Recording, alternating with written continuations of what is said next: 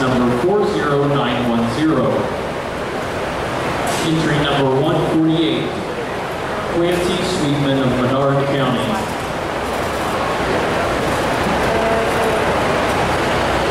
Entry number 400, Alexis Black of LaSalle County.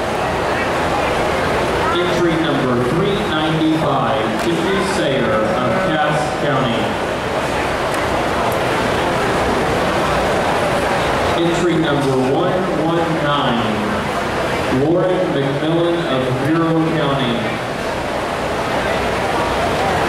Entry number 120, Jeremy Jarvis of Ford County.